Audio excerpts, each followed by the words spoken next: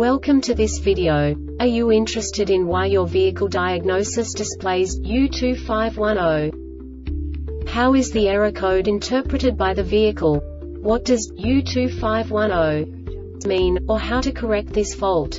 Today we will find answers to these questions together. Let's do this. First, let's look at the history of diagnostic fault code composition according to the OBD2 protocol, which is unified for all automakers since 2000. We divide the electric system of automobile into the four basic units. Powertrain, body, chassis, network. This distribution is defined in the first character code.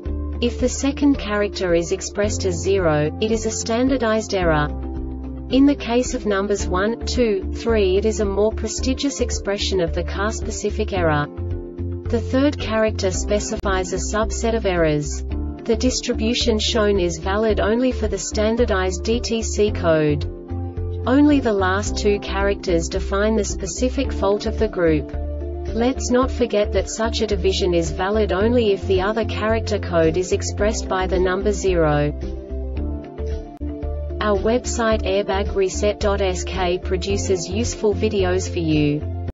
You do not have to go through the OBD2 protocol anymore to know how to troubleshoot any car breakdown. You will find all the diagnostic codes that can be diagnosed in a Mazda vehicles.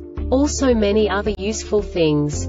The following demonstration will help you look into the world of software for car control units.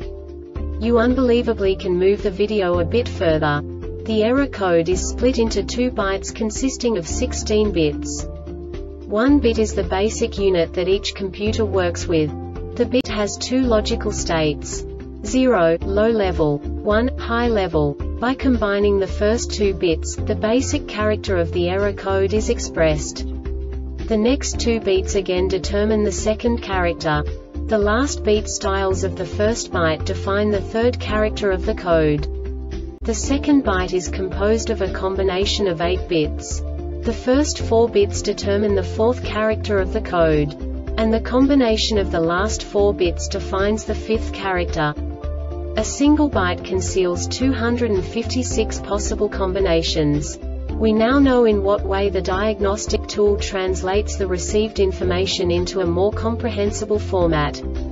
The number itself does not make sense to us if we cannot assign information about it to what it actually expresses.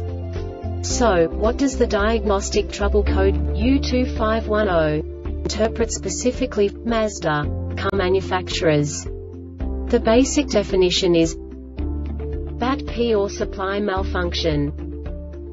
And now this is a short description of this DTC code. Battery power supply backup circuit is open or shorted battery voltage is too high or too low when B1102 occurs at the same time, all the functions of the body integrated unit may not operate. This diagnostic error occurs most often in these cases. Loose wiring harness connection defective fuse bad wiring harness poor contact in body integrated unit connector.